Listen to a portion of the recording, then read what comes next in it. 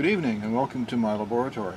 What you're looking at there is uh, the Conrad Electro Joule Thief circuit.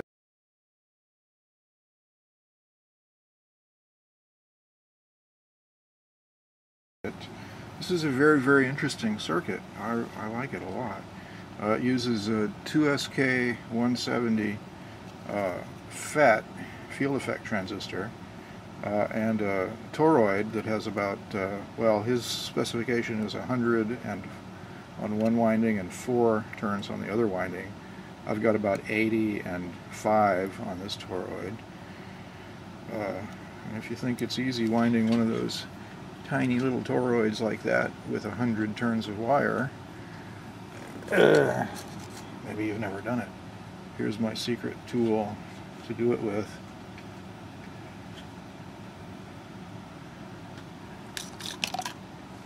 Uh, at any rate, this Joule Thief runs quite well. As you can see, the uh, green LED is uh, is on, and that's not really dim. That's not as bright as it could be, but it's not really too dim.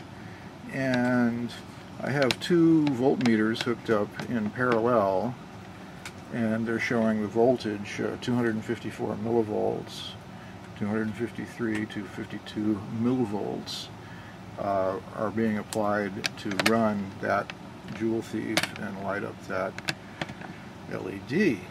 And uh, so one of the things that I wanted to demonstrate in this video is the difference between these two meters. These are both really cheap digital multimeters. This is a Cen-Tech model from Harbor Freight stores and this is an XL 830L that was donated to the lab. I don't know what store they came from, but this one was donated.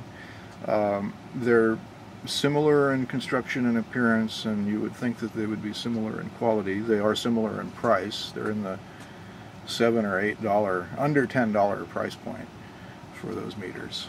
Okay, so um, you can see with the DC power, they're indicating fairly close to each other, within a couple of millivolts.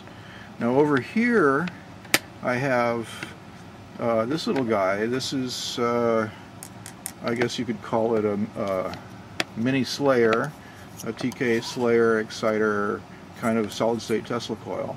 It has an 8-turn bifilar, Tesla bifilar primary, a 2N3055 transistor, and a little bit of circuitry including a fast diode back there in the back. And I run it on 12 volts DC input from a regulated 12 volt wall wart.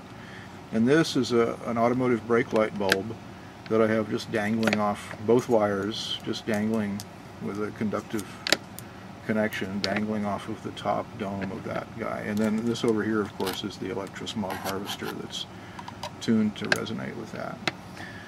Okay, so let me apply power to the uh, to the this like that. Okay. And now you can see that we have the electrosmog harvester glowing wirelessly quite well. And uh, we have, uh, now here's what I wanted to show you with the meters. You can see that this meter is still indicating fairly close to where it was, but this meter has gone, is flipped completely out. And it's not a, it's not over ranging, it's just gone. Okay, we're up there, there we go. You see, uh, see here. So this this guy is uh, crazy.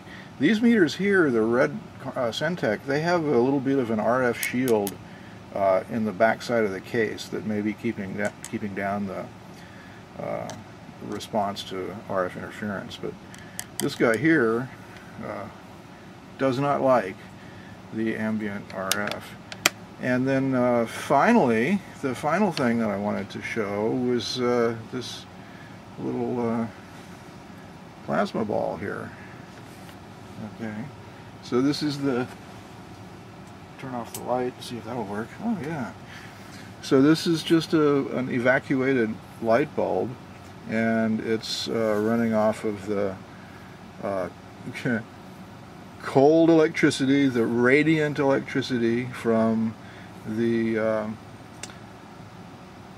tinsel exciter, solid state Tesla coil there, tinsel slayer. That's kind of neat, isn't it?